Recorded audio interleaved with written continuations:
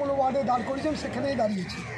কঠিন হলে দলের নেতারাই তারা বিরুদ্ধে প্রার্থী দাঁড় করিয়ে, নির্দল দাঁড় করিয়ে আমাদের বিরুদ্ধে লাগার চেষ্টা করল কেন? মমতা বন্দ্যোপাধ্যায় আমাদের দুজনকে টিকিট দিয়েছিল বলে। মমতা বন্দ্যোপাধ্যায়ের উন্নয়ন আর মমতা বন্দ্যোপাধ্যায়ের কাছ থেকে শেখা মানুষের পাশে, মানুষের সাথে থাকা। তাই আমরা এই নির্বাচনে মানুষ মমতা বন্দ্যোপাধ্যায়কে ভোট দিয়েছে আমাদের মাধ্যম দিয়ে।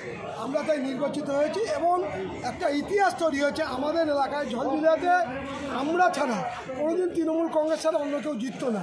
গত নির্বাচনে কংগ্রেস সিপিএম ছিল। কংগ্রেস সিপিএমকে নিশ্চিত করে দিয়ে আমরা তৃণমূলের সবকটা প্রার্থী জিতেছি। এটাই আমাদের কাছে। মমতা বন্দ্যোপাধ্যায়ের কাছে আমাদের আশীর্বাদ, জনগণ আমাদের মাধ্যমে তুলে দিয়েছে।